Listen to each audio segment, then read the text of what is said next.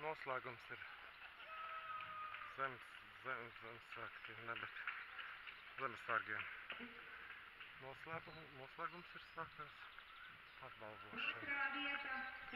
Līdz redzēsim, uzfilmēšu, kā tad viss notiekās. Okay?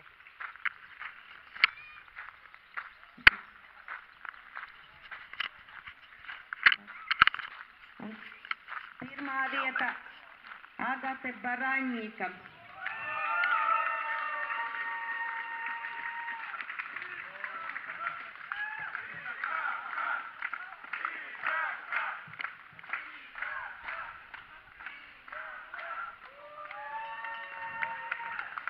Milžu šautriņos bērniem no 9 līdz 14 gadiem trešo vietu ieguva Edgars Hans.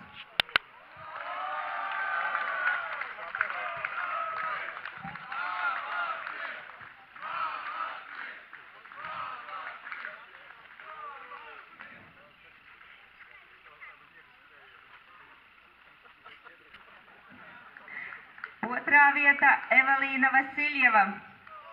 Daugavpils.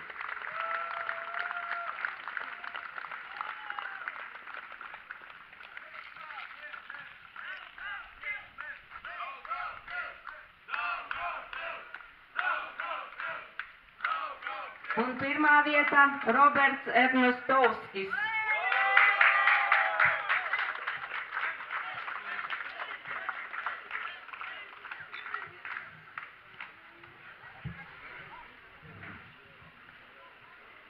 Jā, nav.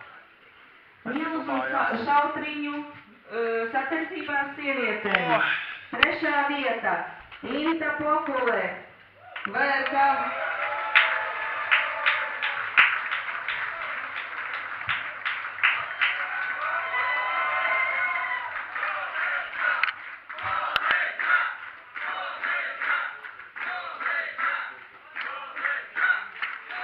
Otrā vieta Marija.